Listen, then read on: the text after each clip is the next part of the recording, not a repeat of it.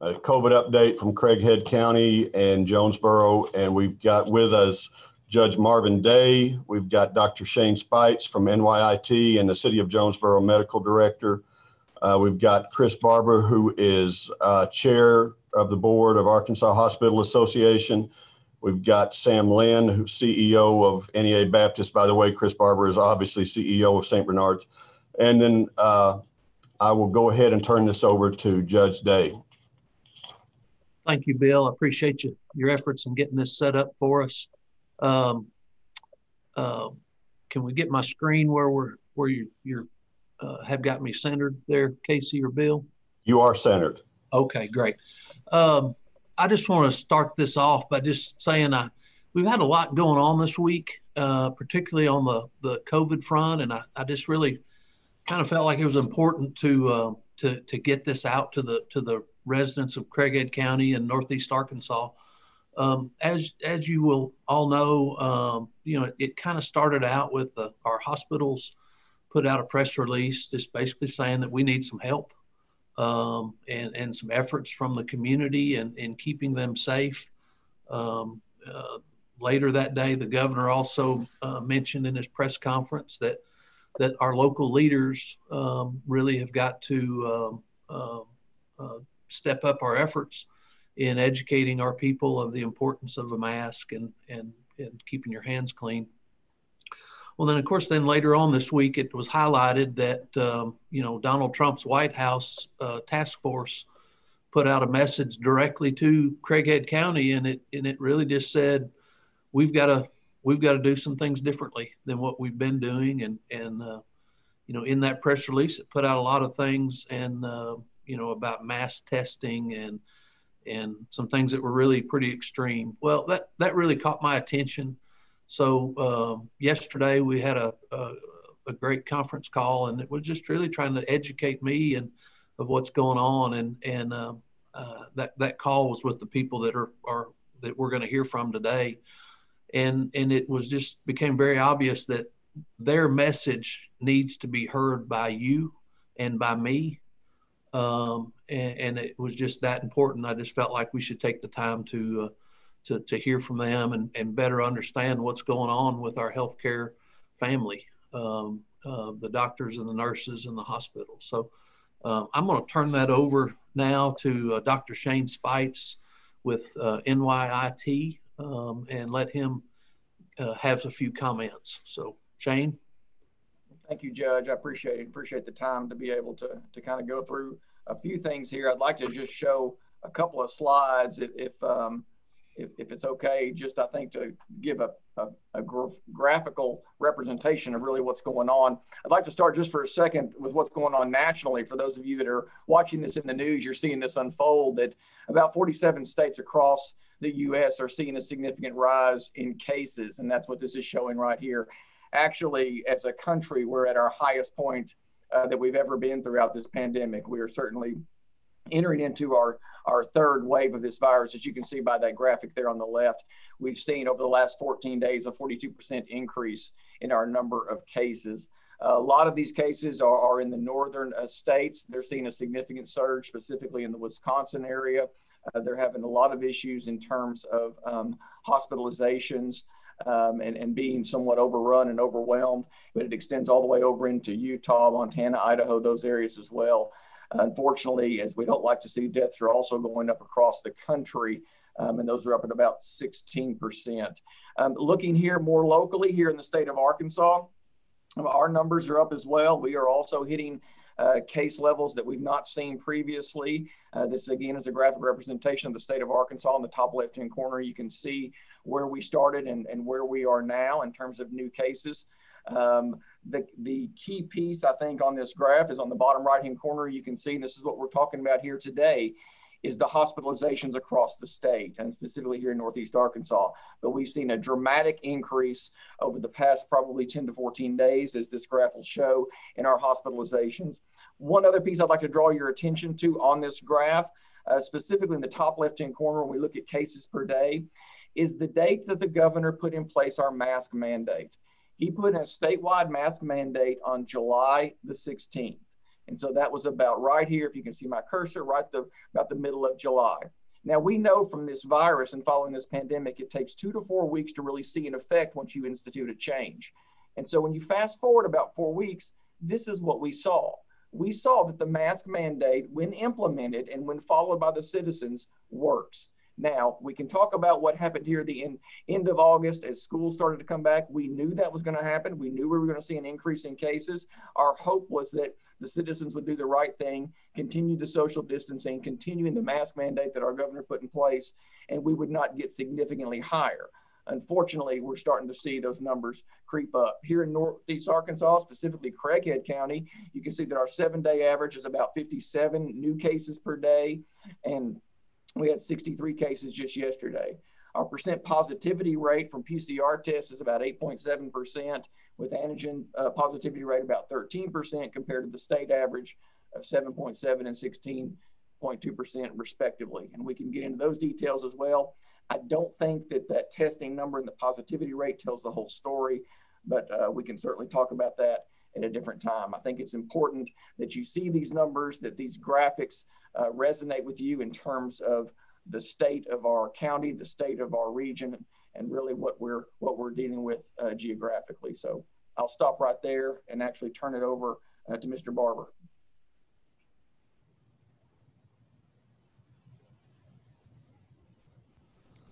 Thank you, Dr. Speights, and we appreciate your steadfast leadership and certainly since the inception of this pandemic. Also, your extensive research of the, the topic, and then more importantly, your wise counsel and leadership, not only to the, the city of Jonesboro, but the entire region. So, thank you for all your efforts here and, and keep up the good work. Let me begin by saying all our hospitals are here to serve, uh, and we want to continue to do that for our communities. Um, we are picking up, some folks are delaying care uh, because they're concerned of COVID 19 we want to encourage everyone please do not delay care. Um, the time is now to be proactive in your treatment options, early detection, so we can aggressively treat health related issues. So please do not delay care at this point in time. All the hospitals and physician offices have made appropriate comment, uh, commendations. So please see those, those appointments. The purpose of today really is one, to share some information you may not be aware of. Two, to really answer questions that you might have about our local environment. And, and three, to really set the stage of where we are today and more importantly, where are we moving in the upcoming months ahead as we have flu in the winter months, which in turn historically have been the busiest time of year for hospitals and providers. So this morning we want to give you a perspective of a snapshot of where we are. So you all have seen the governor's press conferences and all the uh, detailed review of graphs of the seven-day rolling averages, the overall hospitalizations. We want to share with you what does that look like in Northeast Arkansas. So the first slide. This provides, there's 14 hospitals in Northeast Arkansas region. This provides a number of confirmed hospitalized patients. So uh, you'll hear a little bit about the community spread. This translates into hospitalization. So if you can see back on the left-hand side of this graph, starting in May 17th, we were rocking along uh, with fairly no, low numbers. Then we bumped up in July, had a slight increase. But I want to draw your attention to roughly uh, September 26. Michelle, put your cursor on that um, 29th here that you see. So for the last 30 days, we have seen a significant increase in hospitalized patients in Northeast Arkansas, which has been dramatic here. Now, in, in our case, the, the Jonesboro hospitals account for about 78 to 80% of those hospitalized patients here locally. The balance are provided care in the regional facilities throughout Northeast Arkansas. To date, our Jonesboro hospitals have treated over 1,350 COVID hospitalized patients in our uh, acute care facilities here in Northeast Arkansas. So some might ask, is this normal in the state or is it unusual for Northeast Arkansas? So the next slide will show you how this plays out throughout the state of Arkansas. again, we are the red uh, trend line here. You can see the dramatic increase here. And this is just a 30 day snapshot, again, from September 29th to October 29th. The top yellow bar there is the Little Rock metro area. So you can see they've been ranging between 140 or 160 patients uh, per day hospitalized in their the facilities down Little Rock. Now think about this. We all know the dense population in central Arkansas and Little Rock compared to Northeast Arkansas. But this graph demonstrates and illustrates we have the same number of hospitalized COVID patients with a smaller demographic area. Now, many of you are familiar with Northwest Arkansas and the spike that occurred a few months back. They are the gray bar on this chart. Um, so you can see they were able to bring that spike down and they've leveled out and basically flattened their number of hospitalized cases in northwest arkansas. So they took aggressive measures from industry government employers etc to address the issue. So we're pleased to see the progress there. We want to show you this that we are certainly trending in the wrong direction. So how does that play out if you put that in terms of percentage of increase? So for the last 30 days we have seen a 112% increase in Northeast Arkansas hospitalized COVID patients. 112% increase in Northeast Arkansas. You can see the next is 57%. So that is significant.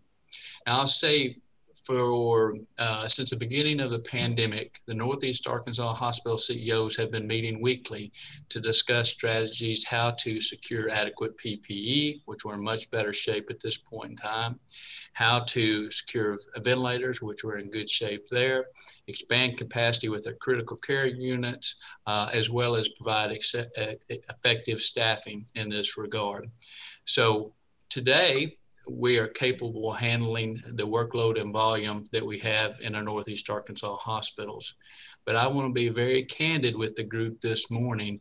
We cannot continue the trend that we're seeing right now. We cannot have consecutive months going into this winter time period with 112% increase in COVID hospitalizations.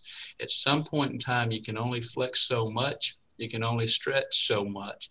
So we are putting everyone on notice. Uh, we don't have a major issue today, but if we continue this trend, we will have real problems in our community in the near future. So that is the thrust I want to share with you. Now, we all know folks are uh, fatigued and tired. We need to get back to the basics when we talk about the importance of wearing a mask, of hand washing and social distancing it's important. We're seeing a tremendous amount of community spread in our region, uh, and many of those folks are pre-symptomatic or asymptomatic. So make the assumption one, if you don't have to go out, stay home. If you do, consider the things that you need to do and ensure that you're wearing your mask. It's go, okay to tell folks to pull their mask up over their nose. If you go through the drive through to pick up dinner um, and you got a young person wearing the appropriate PPE, um, give them an extra tip if you're so inclined to say thank you for being a good role model for others because they're taking care of you. We want to improve the health of our region so we can take care of other issues as well. Uh, you know, we have serious illness that we have to deal with on a day in and day out basis. The second piece is we need help too uh, with our healthcare workers. So in the state of Arkansas, 8% of the healthcare workers uh, account for the COVID um, cases in our area. Uh, we need to protect our healthcare workers who are out in the community as well, because there's going to come a point in time that we got to rely on all these folks, you know, for that time of need or that crisis in our area. So we are asking you today to one, share with you where we are. More importantly, we need your help to train, change the course of this trajectory here in the near term. So at this point in time, I want to uh, turn it over to Sam Lynd. Thank you, Sam. Thank you, Chris. I appreciate your leadership and, and you as well, Dr. Speights. Dr. Speights mentioned the delay in time between exposure or even a positive test and hospitalization. So you've seen Chris show you uh, the trends for hospitalizations, but I wanted to speak just a little bit to outpatient testing and what the community spread looks like uh, from that perspective. So if you go back to a month ago, as Chris just referenced, late September, your local health systems were already testing hundreds of outpatients uh, for COVID 19. Late September, the positive rate for those patients has been right around 5%. Today, that positive rate is around 21 to 23%. We've even gone as high as 27% on a particular day. So we know that's a drastic change in the spread of the virus, uh, and we'll continue to monitor hospitalization trends, but we're really calling on folks to adhere to the guidelines. We know they work, uh, and I wanted to offer a couple of anecdotes for that. One, uh, about two months into caring for COVID patients at NEA Baptist, we tested about 1,700 team members just to make sure we understood whether or not the PPE protocols we put in place were working. Uh, and so out of that 1,700 people, less than half of a percent tested positive. So we knew that our folks that were taking care of these patients were safe. We knew that the social distancing, PPE, hand washing measures work. And so I wanted to offer that as an anecdote. But also this week, we saw a study released by Vanderbilt University sorted hospitals uh, according to the patients they cared for and what communities they were coming from. So hospitals that were caring for patients uh, that came from mask required communities at a rate of higher than 75% saw nearly a flat curve, still some increase, but nearly flat. Hospitals caring for less than 25% of patients coming from mask required communities have seen quite an impressive increase uh, and a scary increase. And so we know that there's lots of evidence out there that shows that the trend goes the wrong direction when our communities don't follow the appropriate guidelines and recommendations. So again, we just ask people uh, to be responsible uh, and give this a lot of thought. Uh, certainly, your healthcare workers need it. Uh, a lot of healthcare workers that are obtaining the virus are not getting it from caring for these COVID 19 patients. They're getting it from community spread, from family members and people that they come in contact with that maybe aren't following the guidelines the way they should be. So, we ask again, just for the sake of uh, our community, our community spread, and our healthcare teams, uh, to please help us flatten the curve and, and adhere to these guidelines. Uh, I want to kick it back to, to Judge Day. Thank you. Thank, thank you, Sam and, and uh, Chris and Shane. Uh, just really great information that you shared with us, and I, I, appreciate your your time in, in doing that for, for our community. Um, you know, with hearing what I heard, it's it's hard for me not to stop and and just want to tell our healthcare workers this thank you so much. Uh, we know y'all are leaning in uh, extra hard the nurses, the doctors, the the people that keep you, the facilities clean, not just in the hospitals, but also the clinics. And and just we, we just want to say thank you. Uh, we appreciate what you're doing, and uh, you know our prayers are with you. Um, you know, right now, I guess in in what I want to say from this point is, you know, we live in a great community and we care for each other. and I look back at the tornado and we had an emergency and we had a crisis. And I and I my takeaway is just I just I want the community to hear that that we need to kind of lean in and help each other.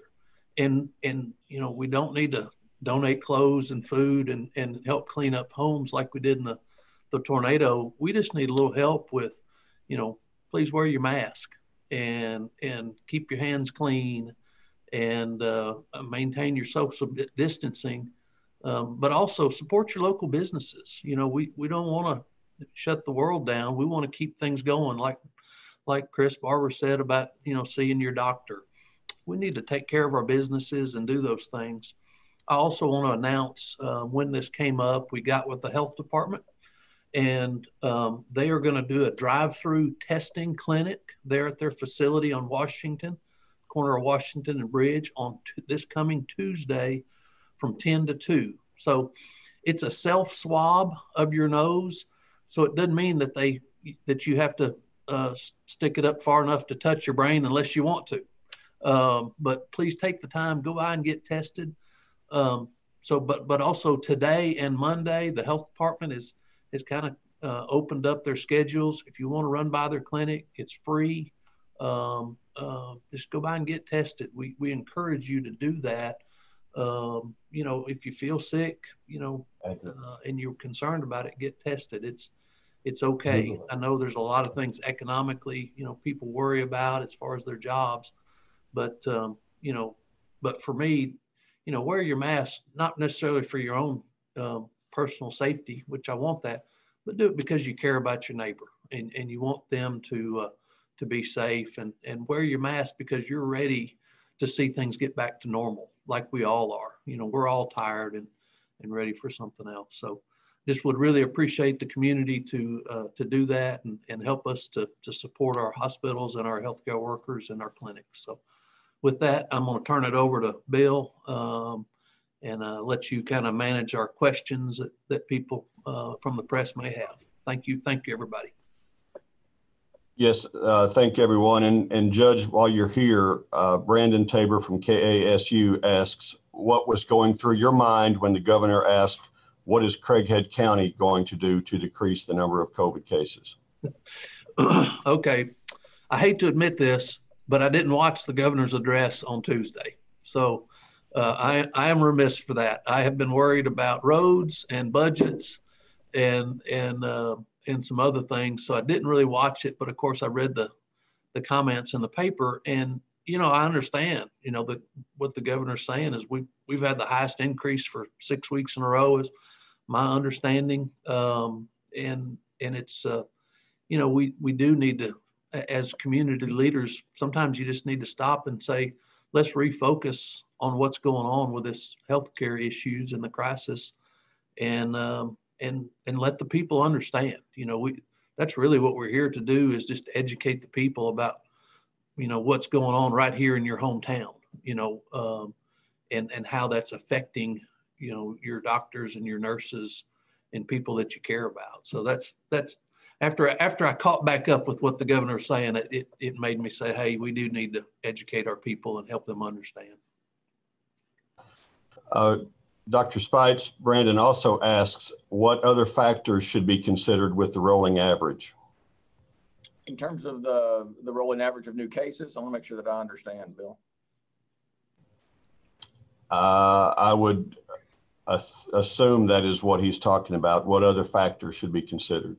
Okay, so there's a, I'll just say this, there's when we, when we look at, at the virus in our communities in any geographic location, there's a lot of pieces you want to look at. So you don't want to necessarily just focus on one piece. Sometimes we get focused on the percent positivity. Sometimes you get focused on the, the number of new cases. We need to know that, that we want to look at all that data. But really, when you talk about the burden of disease in your community, it's your hospitalizations we'd like for people to take all the measures that they that they need to in terms of the social distancing the mask wearing everything that you've heard just presented here today. But once that's not necessarily heeded then what's going to happen is you're going to see your hospitalizations and your death rates go up. And so that's why we're here today is to talk about how significant that rise has been in our region and specifically in the Jonesboro and Craighead County area, but in, in, many of the counties in Northeast Arkansas. It's not just specific to Craighead County. A lot of the counties in Northeast Arkansas are seeing significant increase in cases. And so uh, in terms of how we look for, from a predictive standpoint, there's a lot of different data points that we look at. Um, and, hopefully uh, we don't just rely on hospitalizations because that's a later finding. Hi, Dr. Speights. This is Josh White with KAIT. And, uh, this is for the entire panel. Um, I'm curious because we're always talking about wearing masks, and there seems to be some sort of stigma that is put that if you wear a mask, then you can't really do anything. So I would like all of the, the panel to kind of address if you wear a mask, that is also a way that we can take care of local businesses because they will still be allowed to be open instead of not wearing a mask and forcing possibly another shutdown. Josh, I appreciate that, and, and um, you're spot on. You're exactly right. The, the, the wearing of the mask, the idea behind it is that we can continue a lot of what we're doing today. I got my tire fixed today. I had a hole in my tire. I had to go get it fixed. I wore a mask. Everybody in the establishment was wearing a mask. Everybody was socially distanced, and I got my tire fixed, and I was able to to come come be a part of this this press conference. And so we can continue to do a lot of our daily activities through the wearing of the mask. What the big problem is, is that people don't understand is we've got a significant portion, anywhere from 20 to 40%, depending on which study you read, of individuals who are sick and don't know it and who are spreading it and don't know it. And so you're spreading it into individuals who may have a bad outcome. And so this is a lot, it's an individual decision that affects the community. And so the mask wearing is something that, that an individual can take that makes a positive difference in their community in terms of viral spread. And we've seen that. I'll go back to the graph that I mentioned earlier as we started this. We saw a significant drop in the number of infections when the governor's mask mandate was implemented. Now, we've entered into some pandemic fatigue, some laxity, some I'm tired of this. And I think everybody that's on this panel here would, would agree that we're all kind of tired of it. But this is not the time to let up. We are being tested. Our resolve is being tested. And we have to step up and do the right thing, which is simple, in my opinion, is wearing a mask and social distancing. Uh, we have a uh, a question from uh, Cubilla Hardin or Leganzi Kale at KLEK. It says to the medical professionals, what would you say to those in the community who still don't believe COVID is real? It is real. And we see that we just shared with you, we've treated over 1,350 patients in the acute care setting. And there's hundreds of thousands of more that have been diagnosed with COVID. Now, in many cases, it can be mild, which we're thankful, but in other cases, it can be devastating uh, for families and friends and loved ones. And We've seen that here in Jonesboro. We've seen that here in Northeast Arkansas.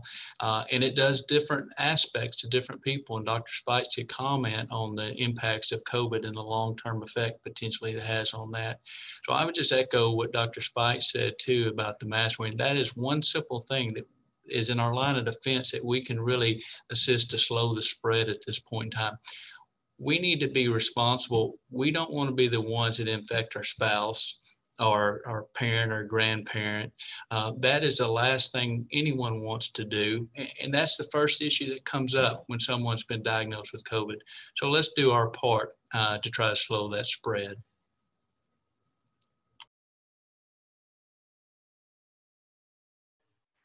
Bill, you're on mute.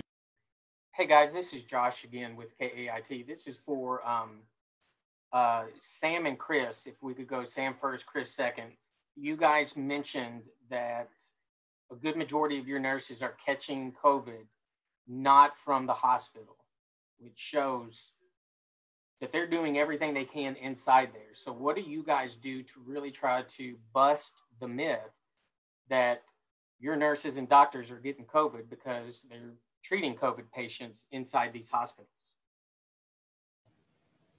Thanks, Josh. I, I, think I think this conversation today and our press release this week is an attempt to go further in communicating uh, what's happening and, and how it's affecting our workforce. Our, our teams are certainly uh, being affected, and, and, like I mentioned before, uh, most of those that are going out of work temporarily for um, you know exposure, really more than anything else, uh, but also you know a few positives when we contact trace those back, I mean, they're certainly from community spread, like we mentioned. So uh, we know that internally, and we've met, continue to message that to our teams internally. And then this week decided to take a further step to try to get some additional information in front of the community that represents, you know, how that's happening and why that's happening. I, would agree with uh, Sam's assessment as well. We recently conducted some surveillance testing of roughly 2,500 employees. Um, we also did contact tracing, uh, and there was no commonality in a lot of those in a, in potential COVID patient. So that just really identified the community spread that we're seeing out here. Again, a large percentage of those were pre-symptomatic or asymptomatic at this point in time. So I think folks are proactive in taking those steps to really try to hone in where is this coming from? And more importantly, what can we do about it? Any follow up to that, Josh? Uh, just one. I was going to see um, if Dr. Speights could almost go on a myth busting uh, session talking about how if you wear a mask, you you increase your chances of some kind of carbon monoxide uh, poisoning, or the mask mask truly doesn't protect you from possible from possibly getting it, that kind of stuff. Yeah, sure, Josh. We can. Um, yeah, I, am fine to do that. I the carbon monoxide, I, I think, I think first of all, carbon monoxide is produced by combustible engines. The human body doesn't produce carbon monoxide. The human body produces carbon dioxide as a waste product. And um, the studies that have, have that we've looked at on that do not see a significant drop in oxygenation or a significant increase in carbon dioxide levels. Um, we've got luckily we've got good compliance um, like in our elementary schools and our elementary school teachers and things of that. Now i'm not going to say that it's not um, it's not something you want to do uh, forever. I'm not going to say that it's something that that, that uh, i don't hear about at, at, home sometimes in terms of wearing the mask all day long but it's something that that we have to do to to reduce the spread. But in terms of a physiologic change to the human body we have not seen detrimental change to the human body for the average person wearing a cloth mask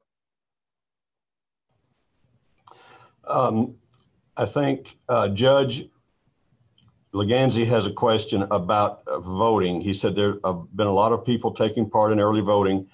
Uh, have you observed any, made any observations regarding mask compliance while voting? I have Leganzi. I, I drive by there quite frequently and check on folks and see how it's going.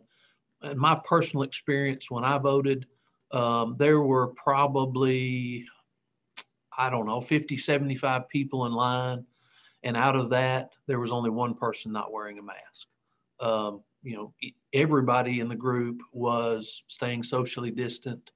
Um, I've been by the Lake City voting place, and and uh, everyone at that time was wearing their mask and uh, uh, going going very well.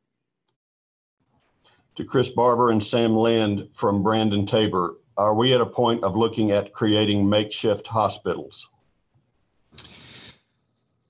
So that's a good question. And since the beginning, we developed a surge plan for Northeast Arkansas because we understood we're going to have to take care of our own people uh, because everybody else will be facing the similar issues in the rest of the state. So each hospital has developed developed a surge plan that, that uh, we have. We've continued to scale that up throughout this pandemic, and we've added beds along the way. So we have that in place uh, at this point in time.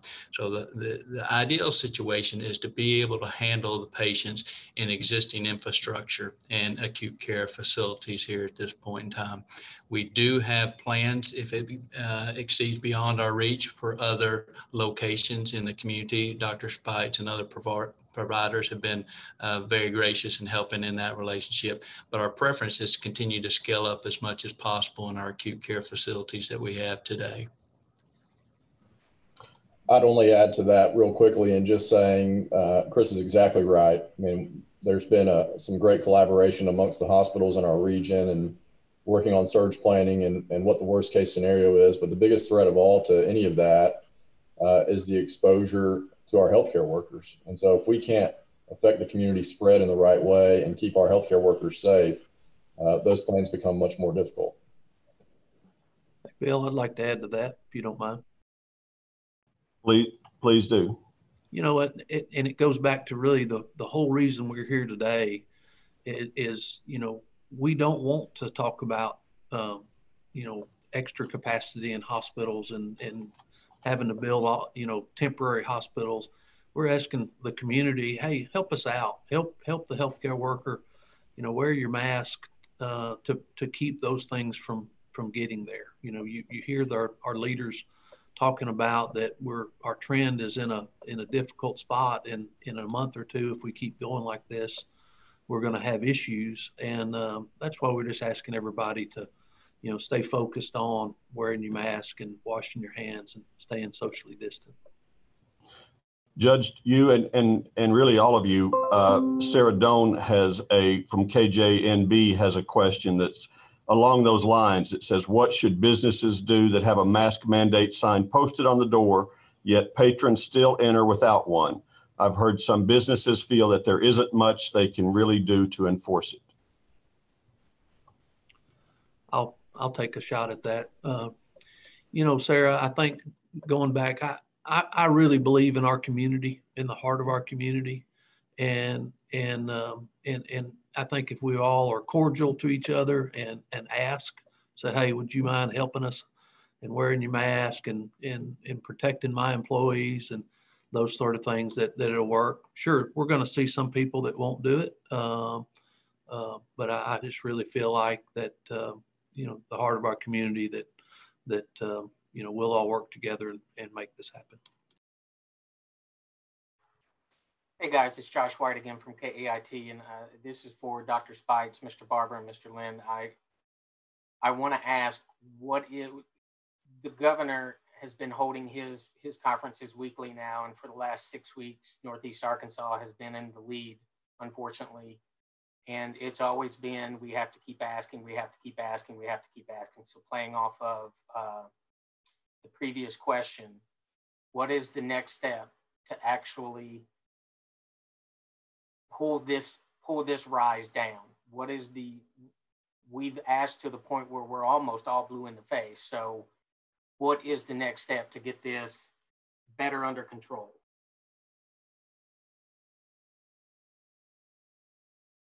Hey, Josh, I'm, I'm gonna, I'm gonna take that one. I know you pointed it toward our healthcare leaders. You know, I, I think today is our next step. You know, if you really, if you really want to, you know, to say it, you know, Donald Trump's White House uh, task force uh, said, "Hey, look, guys, y'all need to get together and work on this." And um, here we are. You know, the hospital started getting their messaging out, and uh, uh, the mayor and I have, uh, um, you know, are trying to encourage our uh, the people here in Northeast Arkansas to help us. So this is the next step, and, and in my heart, I believe that our community will come together and and flatten this curve in the next, uh, you know, two or three weeks. Um, I, I think people, you know, there's there's so much noise out there about um, you know fake news and this and that and and and uh, and I just really felt like that today's event letting the people that are that are at the tip of the spear of keeping our community healthy um, let let the people hear from them directly and and understand what's going on and and I really think that you know um, that that we're going to make a difference. Judge uh, Brandon Tabor has a question from a listener that I think touches on a point that we've all thought about. Uh, it says, if I visit a business and they ask me to wear a mask, but they don't wear it correctly themselves, how do I respond to the business?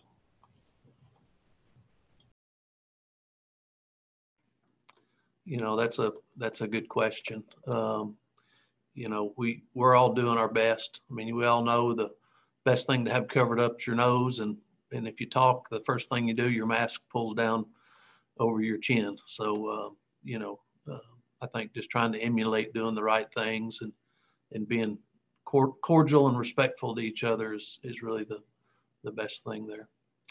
Bill, what do you think? Let's take a couple more questions and wrap it up. I think that's a, a good idea. Right now, um, the only other question that we've got left is from Brandon asking if these pressers will be as frequent as the governor's briefings. And I think the answer to that is, uh, actually, Josh White has, has one more. So Josh, go ahead. Uh, thank you. One one real question. You guys are all here, but there is also someone who represents this district that is the head of a lawsuit against the state of Arkansas to try and pull down the national, uh, the statewide emergency. Are we sending mixed mixed messages here, and is that causing more issues than anything else? You know, Josh, I'll I'll take that one. I I think you know really if you look at the the heart of of um, of that lawsuit, they want your they want your local leaders to step up and and inform their people of what's going on, and and and that's what we're here doing today. So. Uh, I, I, hope and embrace that uh, uh, the people involved with that lawsuit, you know, uh, Representative Smith and uh, Representative Sullivan, you know, will will embrace the message that we have today that uh, you know we we need to be working together here on the local level um, and educating. You know, we're not. I just want to stress we're not mandating anything. We're we're just asking the community to come together and help, um, and and and and to do that for others, uh, for your healthcare workers, for your neighbors, and just try to protect each other. So we're just. I think we're. I think we're all on the same page. And it's also relevant to say that that lawsuit has been tossed out by by court. So um, the, the, uh, Brandon's question about, uh, will these, uh, uh, pressers be frequent as the governor's briefings on coronavirus? At this point, the answer would, is we don't have plans for that. Uh, did you have a different answer to that, Judge?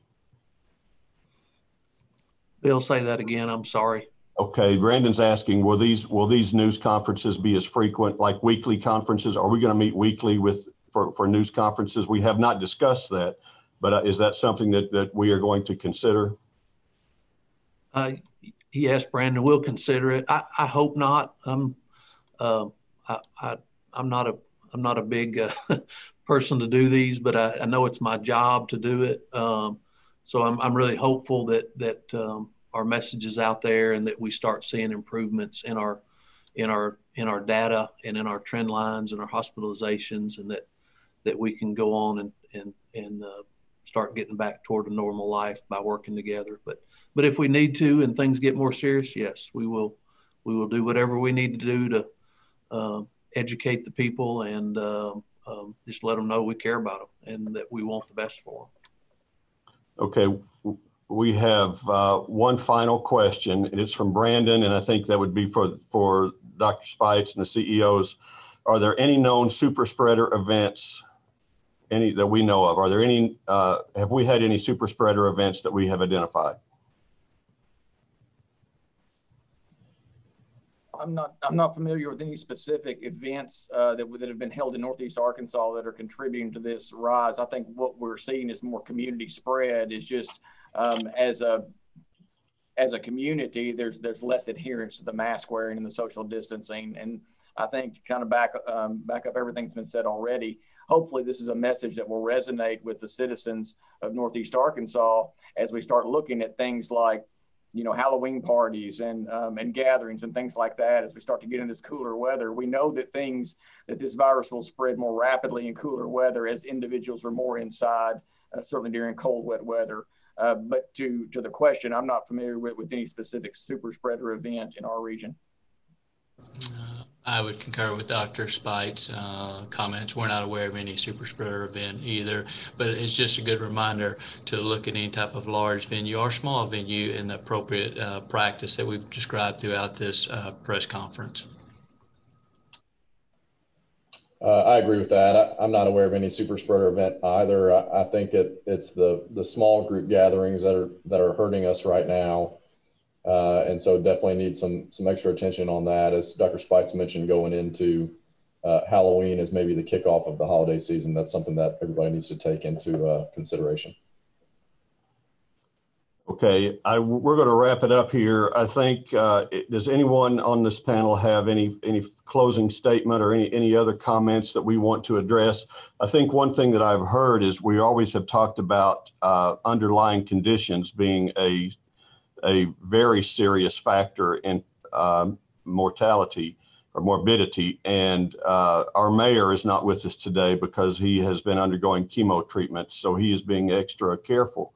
Um, but I, I, I, believe I've read that the latest statements are that that there are some young people and others dying that aren't the traditional what we initially thought were going to be the stereotypical cases. Can can we speak to that, and then everyone give a, a closing remark if they have anything else to add? I, I can speak to that real quickly, Bill, and then just pass it on to, to everyone else. One of the things that I think um, that it wasn't recognized early in this pandemic, which we are learning just more and more every day about the research, and and I realize that can be frustrating um, as as we get new information, then we push it out to the public, um, and, and, it and it seems like it's disinformation uh, just bear with us as we're learning through this. And one of those examples would be, and I'm going to make a comparison. I hate to make the comparison because people latch on it too much, but in terms of influenza versus COVID, influenza is a respiratory virus. You take it in through your nose and your mouth, it gets into your lungs, it pretty much stays in your lungs. COVID 19 enters in the same way, but once it gets into your lungs, it enters your bloodstream, and then it's got multiple organ systems that it attacks. It's got specific receptors to attack areas in the brain, the heart, the kidneys, the bowel. There's mul- the liver. There's multiple areas that actually goes after, and so because of that, it's kind of a uh, it, it's an it's an unknown outcome in a lot of people when they get it. So yes, if you have an underlying disorder, underlying disease, um, even if you're overweight or obese, it does put you at a higher chance. But it doesn't mean that that a regular individual with no comorbidities doesn't have a chance because you could have something and not be recognized by it. We've had individuals um, that are marathon runners that end up uh, bedridden for 14 days or longer, or even hospitalized. And so we're still trying to unlock all those secrets of this virus. It's a it's a very interesting, very invasive and aggressive virus, and we're just not quite sure right now how to be able to say, yeah, we know you're going to end up in the hospital. No, you're not. We don't have that right now. So um, I'll leave it with that as in terms of this is this is again why it's so important uh, that everybody adheres to this because we want to reduce this spread so that we can get into the period where we have vaccination available for everybody and then really combat the virus. Thank you, Doctor. Sam, do you have anything to say before we go? Yeah, I would just add to that. I mean, I, I think it's, uh, you know, it's almost uh, not easy, but you can pretty much understand who's going to be really high risk. But outside of that, uh, the virus doesn't discriminate. And, uh, you know, I've, I've heard people cite recently on a call Chris and I were on yesterday with regional CEOs. Uh, you know, we've, we've started to see uh, some small examples of uh, second positive test, you know, re-exposure of some sort. So, uh, if anything, you know, we just continue to ask that people be considerate about their use of PPE and hand washing and social distancing. Again, as we get closer to the holiday season, we certainly want to do our, our work to reverse this curve as quickly as we can and uh, get us closer and a day closer each each week uh, to enjoying life as, as we all want to get back to. Chris, anything to wrap up? I would just comment on what uh, my colleague said earlier. Obviously, there's been certain uh, demographics that have been impacted, certain preconditions with hypertension, uh, diabetes. certainly, we've seen different outcomes for individuals in that regard. But hopefully, it's been informative today that we've shared some new information uh, to the community.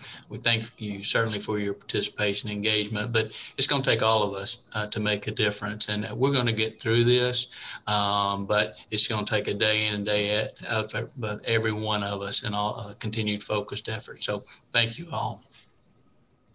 Let me ensure Josh White does not have one more question. Josh, are you good? I am all good, sir. I appreciate it. All right. Thank you. Uh, Judge, any last statements? Thanks, Bill. Yes, I, I just want to say thank you all for, for tuning in today and, and, and listening to, uh, to this information. I, I, hope you found it informative and, uh, um, and help you better understand what's going on in our community. Um, you know, the, the, the, I just want to really focus back on the, on the main message for me, which is when this thing started, you know, it, in my mind, we just need to make sure our healthcare system and the and the wonderful people that keep it going are there to help and not overwhelm them. Um, um, you know, you hear our local leaders say that we're doing okay, but we're definitely we're we're we're stretching our people and making it hard on our nurses and staff and doctors, and, and uh, we need to change that trend. So, just really want to focus back on that and and and and just doing little things. And we just ask you again, do little things like wearing your mask and staying socially distant and keeping your hands uh, clean. Um, really does make a big difference. And I know we're all tired and we're all ready to get back to normal.